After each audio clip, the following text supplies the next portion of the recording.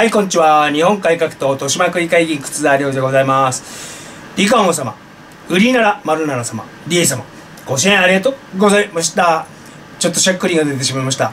えー、何度も頂戴して誠に恐縮であります。えー、政治活動資金にさせていただきたいと思います。ありがとうございました。日米、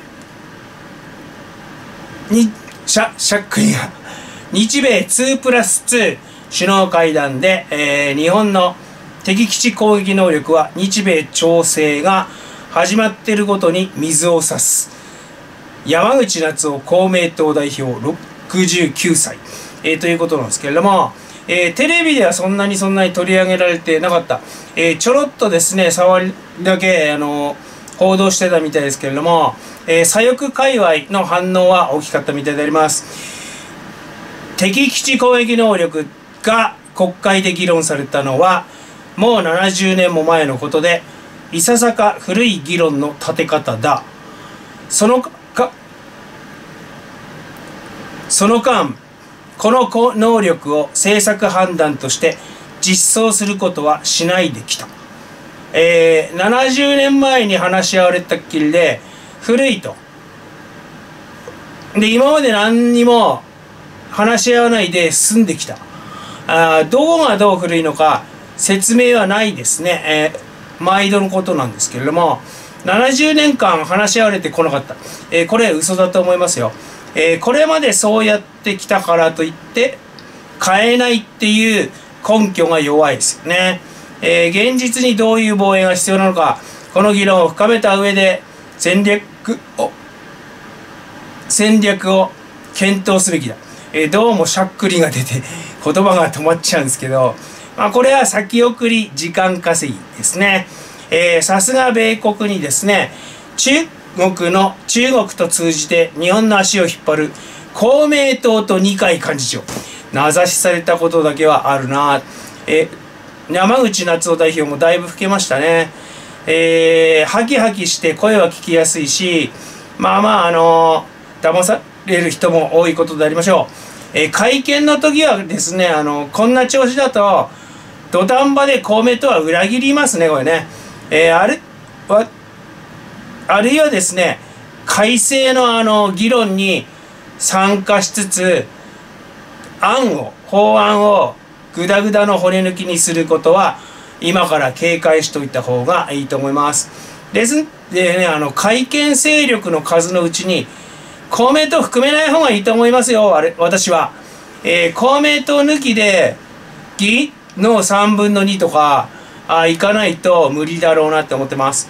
えー、逆にそんだけいけばですねその議員に投票してその議員が当選したっていう実績で国民投票もなんとかなんじゃないかあと思いますけれども衆院選前回の10月の衆院選で公明の比例票は711万票でしたであの4年前2017年だっけなの衆院選の時は698万票でした。13万票増えてますね。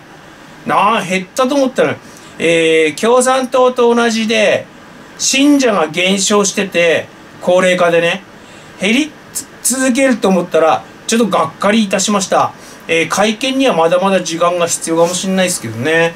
まああの会見が必要だっていうのは日本改革党的にはしつこく言い続けますけどね、えー、テレビが取り上げない日米2プラス2首脳会談は左翼海外界隈には衝撃だったらしく、えー、公明党代表山口夏夫以外でも玉城デニー沖縄県知事も反応してました。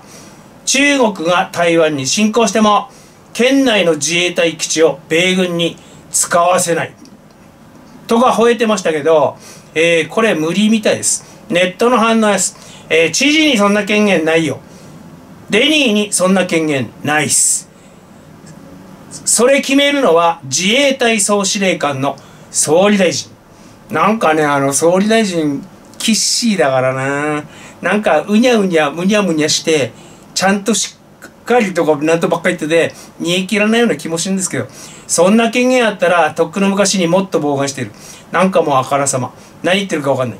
中京の手先丸だし。コロナで自衛隊さん助けて言ってたくせに。もう沖縄に金渡すのやめようや。えー、全く無理だから。なんかね沖縄にで国の予算毎年毎年3000億円ぐらいいってるみたいですね。何の金だか知んないですけど金もらっときながら反政府活動してるっておかしいんじゃねえか。えー、尻滅裂なことでもまあ信者向けに言ってみるっていうデニー、えー、それとも丸岸バーで知事にそんなあの権限ねえんだがわかんねえんだがまともな人に叩かれても叩かれてもくじけない。なぜなら金もらってやってるし仕事として、えー、俺が正しい。それがわからない。社会が悪い、えー、っていうのが左翼ですから子供がっつうのね、えー、な何度も言いますけど左翼は甘えですよ、えー、制服に、えー、福祉よこせってねだりつつ反政府運動。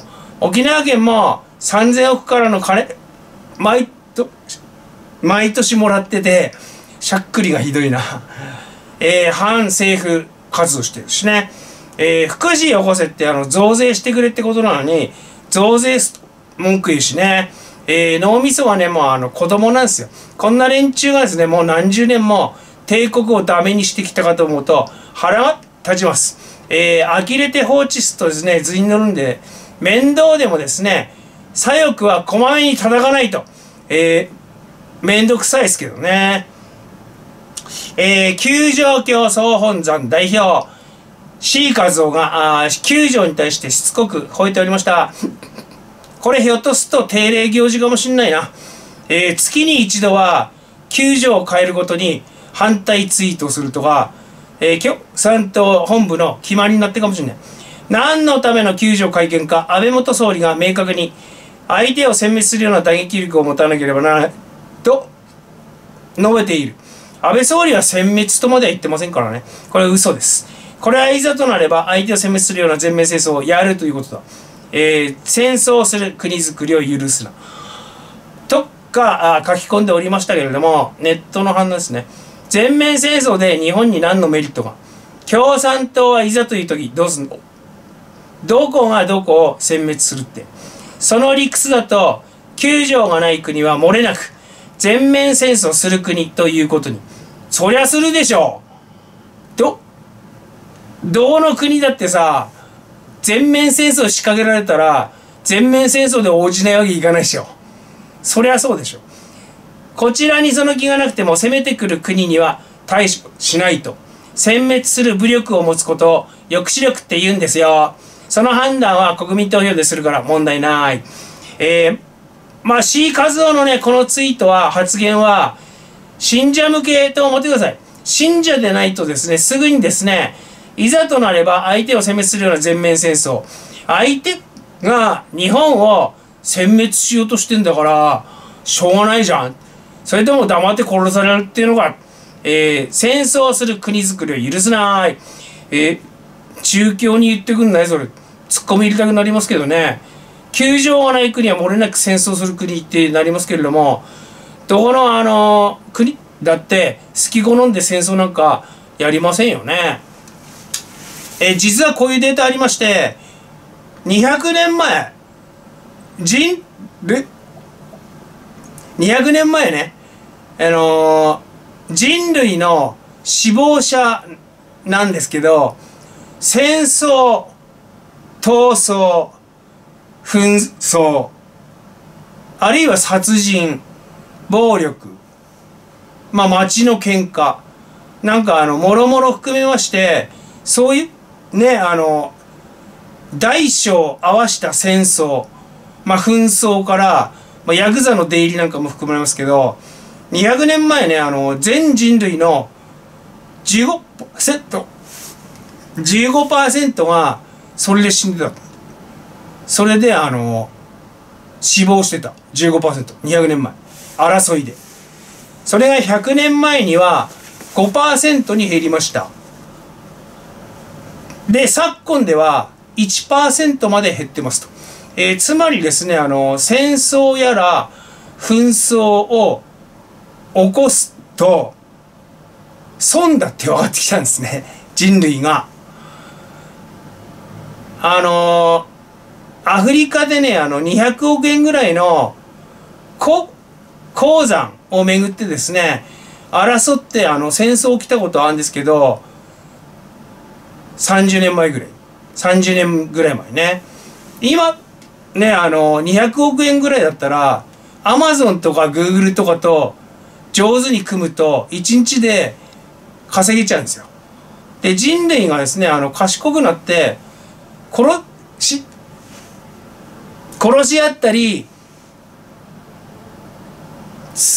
争ったりするよりも、仲良くした方が、率がいいし得だって学んできたんですね。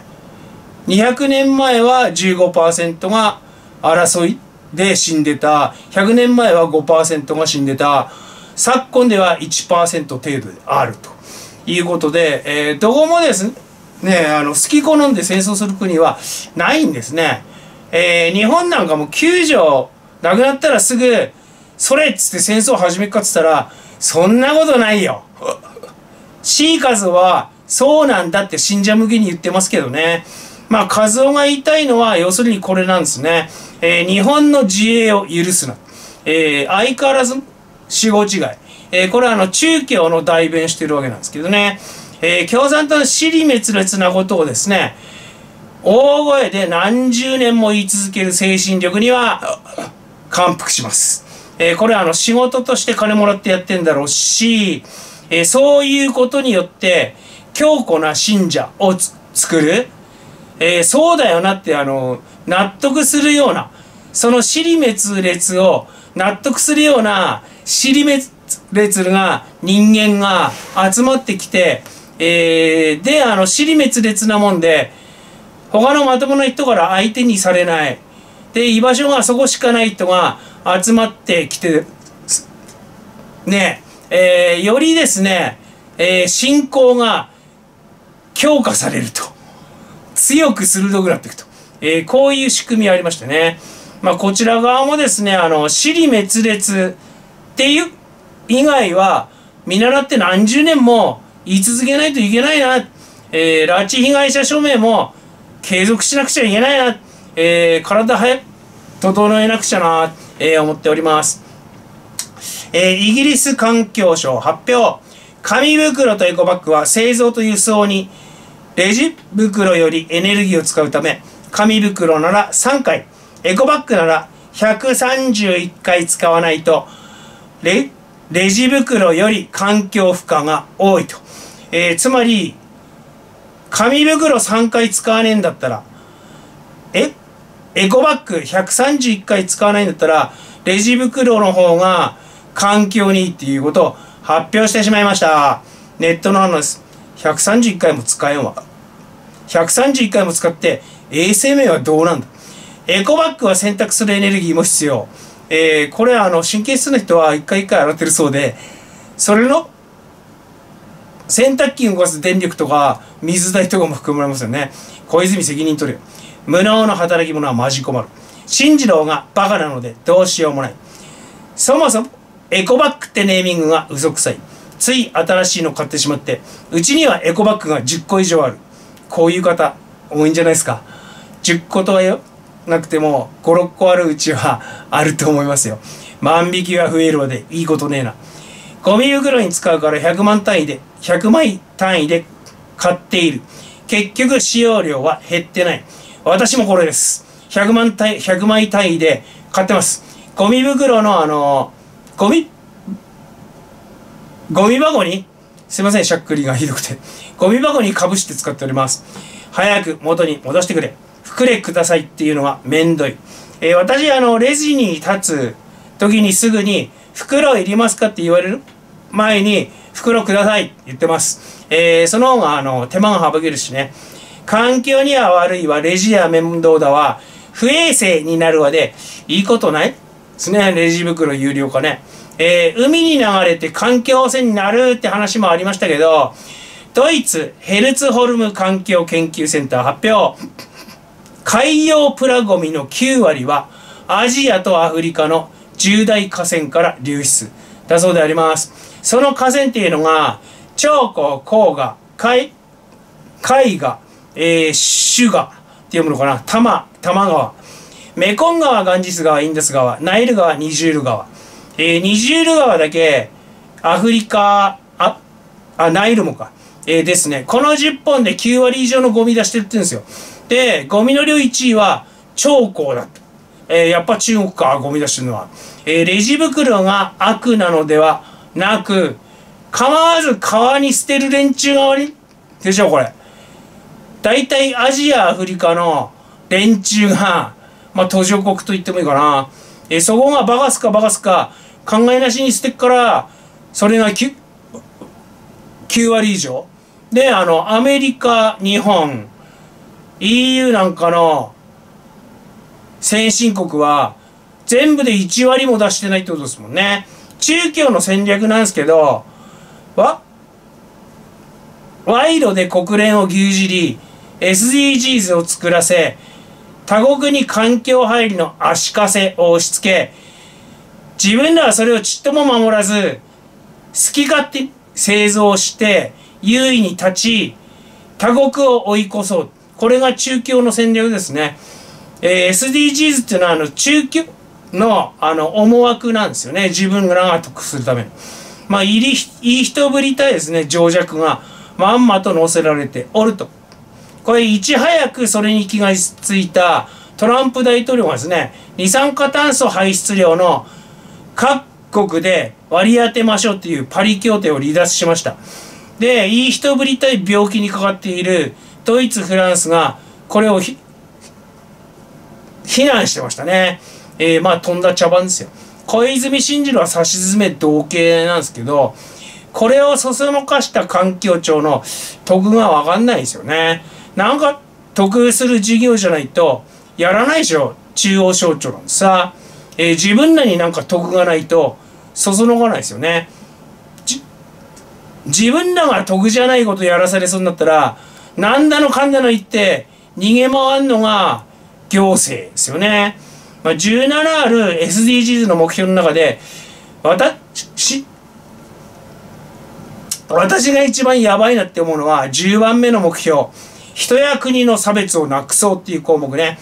これね、憎まれ嫌われるようなことしまくっても、憎むな嫌うなってことなのかな。あるいは言った、豊かな国は貧しい国の面倒を見てやるってことなのかな。差別をなくそうですね。えー、差別をなくそうっていう連中はですね、大抵、差別も区別もごっちゃにして攻撃していくから、用心しないといけませんよね。えー、NHK 紅白に無理やり SDGs ぶっ込んできたらしいし、靴沢は SDGs に大反対です。豊島区でなんかモデル自治体とか言って、区長とか舞い上がっちゃって、あと他、議員も舞い上がっちゃって一生懸命やってますけど、私は大反対。えー、議員や政治家のですね、いい人ぶりたいっていう欲求は、ものすごいものがあるんですよ。いい人ぶりたいとか、賢く見られたいっていう欲求がね、まあそういうのがすごい人が、議員、議員目指すのかもしれないですけど、これはあの議員にならなきゃわからなかったことの一つであります。小泉進次郎日刊スポーツインタビュー。迷った時はフルスイングが僕の心情。そうすれば結果が悪くてもよくよくても後悔ないかな。えー、お前は後悔ないかもしんないけどさ。ネットの反応です。レジ袋失敗してるぞ。空振りばっかじゃん。政治家は結果が全て。人に迷惑かけたら後悔ぐらいしろよ迷惑系政治家とか最悪。反省しないできないサイコパス。ますます悪化してないか。誰がこい誰かこいつを何とかして。だからしっかり失敗ばっかりしてるんだね。要するに無責任ってことだろう。国民が尻拭いさせられてるんです。だけどそうか後悔しねえから反省もせずにいつまでたってもバカなまままなのかな？っていうあのなるほどなって思う記事でありました。えまああの評判は散々ですね。これはあの奇跡が起きて別人に生まれ変わる。後悔も反省もする人間にならないと総理の目ねえな私は思いました。ねあのこいつは後悔しないで気持ちよく生きられてるかもしれないですけどなレジ袋いちいちね袋が入って言わされてるこっちの身にもなれよのバカ野郎って感じなんですけどね。えー、今日はちょっとしゃっくりがひどくてお聞き苦しい動画になってしまいました。明日明日は収まってといいなと思う。まあ吐き気出ないだけマシですけどね。よかったらチャンネル登録よろしくお願いします。デトックスジャパン。